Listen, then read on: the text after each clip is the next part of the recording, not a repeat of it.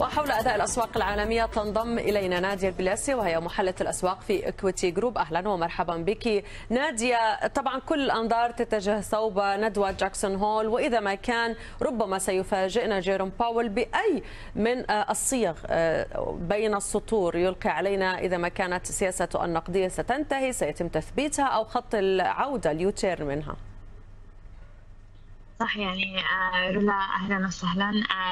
نتوقع يعني statements تكون جامدة بخصوص رفع اسعار الفائدة في شهر سبتمبر. يعني كل أنظار تتحول إلى جاكسون هول في هذا في هذه اليومين يعني.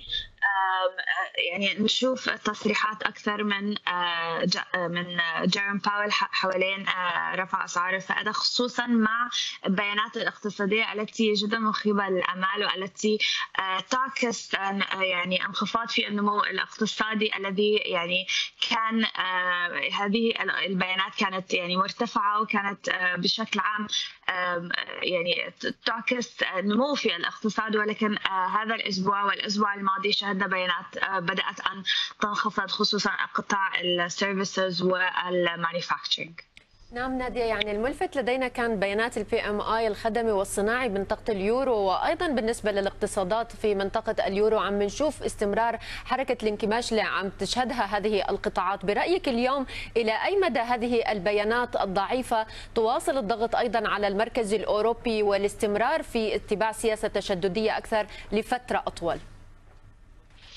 سالي يعني الآن أسواق تتوقع أن يتم في تثبيت من قبل المركزي الأوروبي خصوصا بعد هذه البيانات التي جاءت سلبية جدا يوم أمس يعني والتي أيضا أثرت بشكل سلبي على اليورو الذي انخفض يعني بنسبة 1% تقريبا.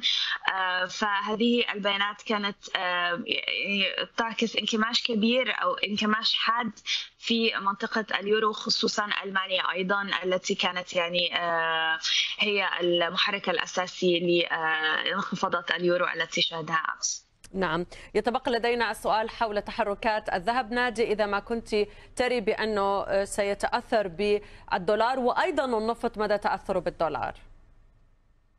يعني الآن نشهد أن الدولار slightly يعني يشهد انخفاضات slight changes لذلك نرى أن برضو من بعد بيانات أمس في في الولايات المتحدة يعني رأينا أن الدولار ينخفض أكثر وأن الذهب يعني يرجع في الارتفاع ولكنه يعني لا يزال في descending channel فالارتفاعات ممكن أن تكون بس بسيطة correction إلى مستويات ال 1920 وال 1925 ولكن بعدها يعني بعد اليوم من جاكسون هول وأمس sorry وغدا ممكن أن نرى انخفاضات يعني ال general outlook تبع الجول لا يزال منخفض. نعم.